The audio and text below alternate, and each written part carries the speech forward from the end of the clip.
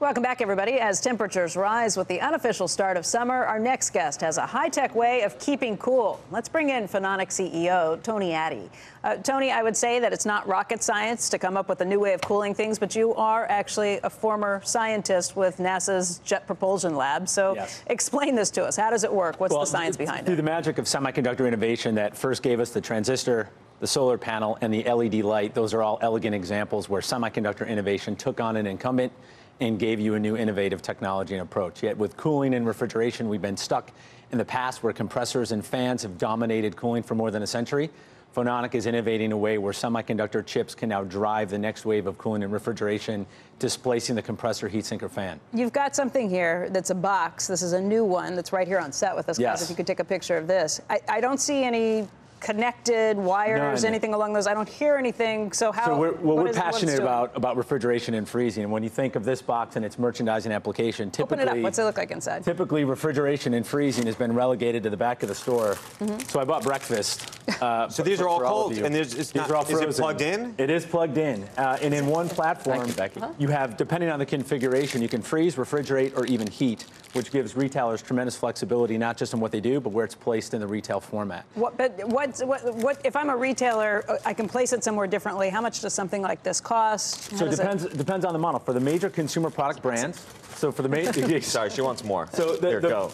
I'm okay. I'm good. There's there's two different techniques that we follow. For the major consumer product brands that have budgets for capital equipment, uh-huh. we right. do an ROI-based model based on the inventory and the placement in the store with a payback period built in. But what's really exciting for both the retailer and the smaller brands, which don't have those capex budgets but struggle to differentiate themselves against the giants, we can do a rental or a lease agreement such that based on the revenue generated by the unit, we share in that margin and it gives them placement in the retailer. And but this is all being used right now in the retail environment. Not all. We have we have products in optical components where we're cooling fiber optic cables, hospitals and clinics where we're refrigerating and freezing ah. drugs and, and uh, pharmaceuticals, and now we're launching into the food and beverage will segment there with retailers. A, a, when I say will there be a retail retail version of this? Meaning, will my I, I guess I we have a Sub-Zero refrigerator in our home. Will we be in your home? At yes. some point, we will. And, and what we've had to do as as a disruptive technology is through full product innovation, demonstrate the capability of the unit vis-a-vis the incumbent. Why is where this so much better than the fan? Well, where we're ultimately headed is Phononic inside, where we can use our chips in someone else's cabinet. The value proposition depends on the user, yeah. but you have a tremendous space utilization because you get rid of the compressor.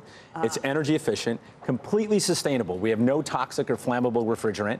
There's no noise, vibration. In the case of a retail setting, you could build perishable goods around what's it the, without damaging What's the them. difference in terms of cost for this versus so a we, comparable with, with many old, of the, you know, with, with many of the markets version. that we're in, we price at parity with the compressor incumbents that are there, despite significant value. Hmm. so we leverage high volume semiconductor best practices used throughout the semiconductor world, and most of the product integration is done with off-the-shelf components. Will over time, we, you think you'll be able to get the price of this even lower than the, the old school? That's where the semiconductor innovation comes into play, yes. And we're a global company that are delivering products all around the world that drives that volume. What's the maintenance on it, if any? None. There's not much that can break. So when you think of the retail environment, there's an OPEX savings back to the value. You don't have to restock the equipment as frequently because you have more space to play with. And you can put this at the point of sale, which is what consumers are asking us they want to experience when they come into the store. That's the highest margin real estate in a retail environment. Tony, thank you so much for coming in. It's good thank to see you. Thank you. for having us. It's very cool. Very, very cool.